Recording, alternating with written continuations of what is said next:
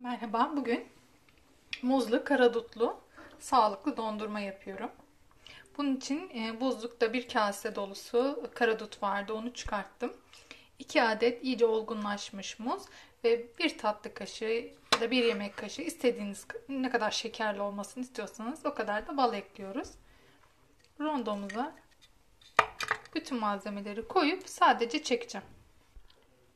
Rondoya aldım hepsini. Güzelce çekeceğim.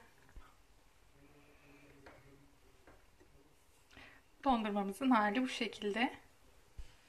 Dondurmanın son hali bu şekilde. Gerçekten çok lezzetli olmuş.